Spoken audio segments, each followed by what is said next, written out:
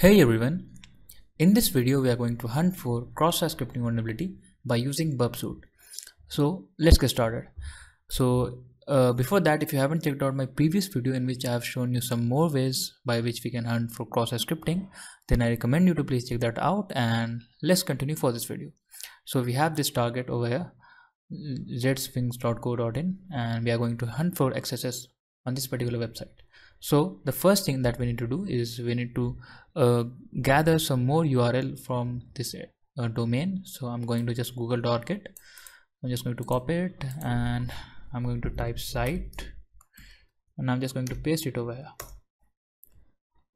And these are all the links of this particular domain. We can see so many links are over here so let's look for some particular uh, endpoint. Let's say I want to look for comments.php so as you can see there is no comments.php in the domain. So let's try to remove s and let's see what happens. And as we can see we got some comment.php link over here. So i'm just going to open one of these in the new tab. And let's analyze this uh, link with more depth. So as you can see this is the link. We have this id parameter which is equals to some random value right? We can see that this is some random value. But in order to confirm that it is indeed a random value we need to uh, capture the request in the burp suite so i'm just going to capture this and i'm going to send this to repeater and let me off this intercept and now we are ready.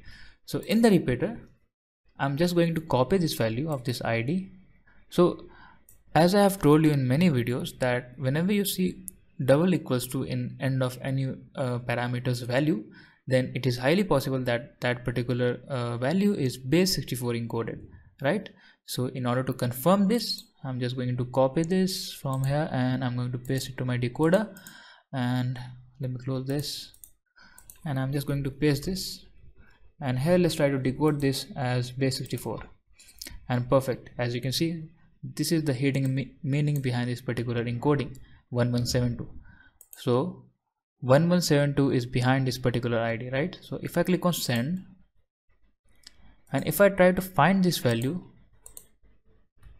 i won't be able to get any reflection because this value is encoded and this is possible that the decoded value is reflecting in the response body. For that we need to copy the response body uh, value of the decoded value. And I'm just going to paste this over here. And as you can see the value the decoded value is getting reflected in the response body right? Which means that we have identified an injection point that could lead us to cross-site scripting.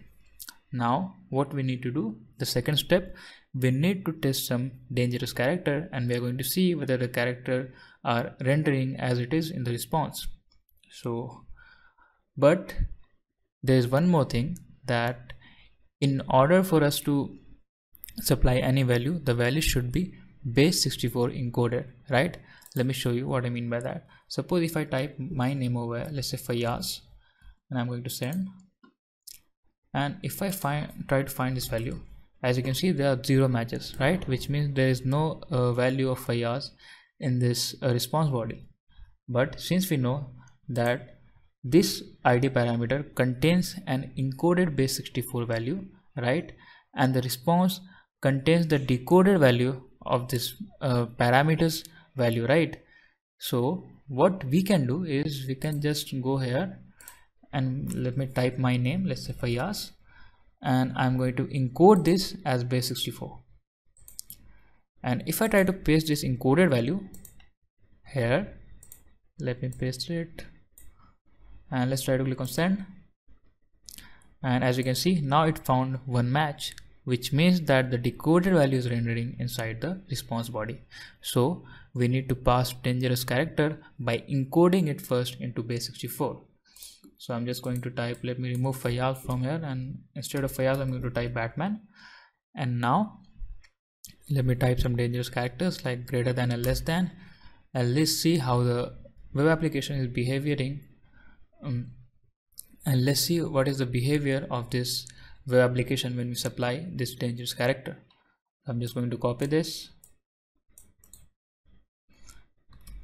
And i'm going to paste it over here click on send and let's type batman over here.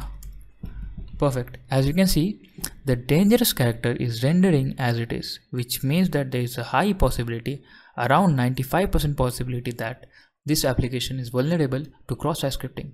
Now it's time for us to inject a payload and let's see what happens after that. So let us try to inject a very simple payload that we are doing so far in the previous videos so script. Uh, let me get rid of this. So as you can see here it is ending with uh, uh, quotation and less than symbol right? So i'm just going to supply this over here. And i'm going to type script alert one and script tag close. And here is the encoded value. Just going to copy this and let's paste it over here perfect. And let's try to see whether we were able to inject it or not. And as you can see here we are able to inject the value right?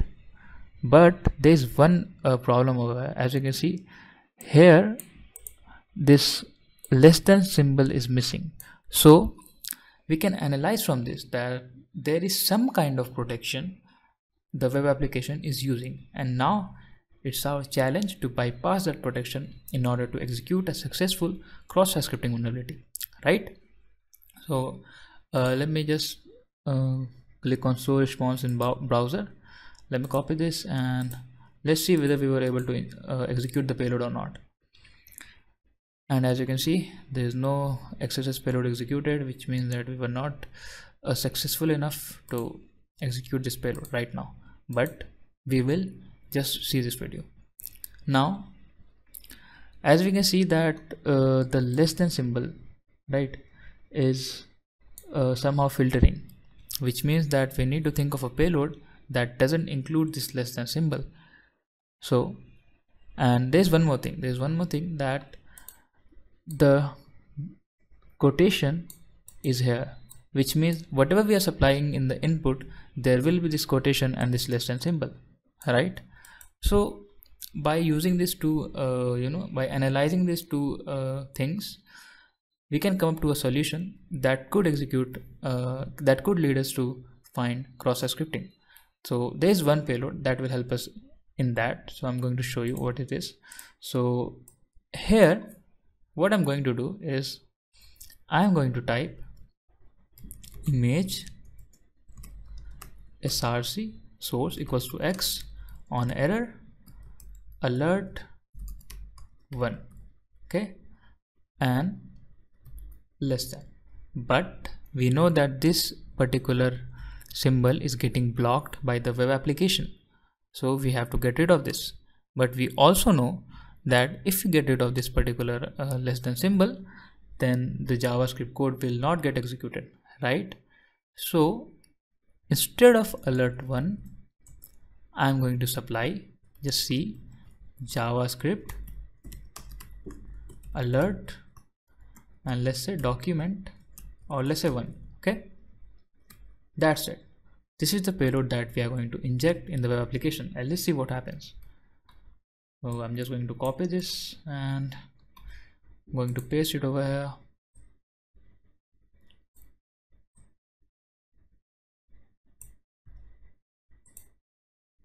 perfect. Let's see. As you can see the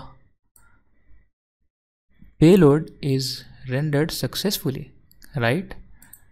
Now let's try to see whether we were able to execute xss or not.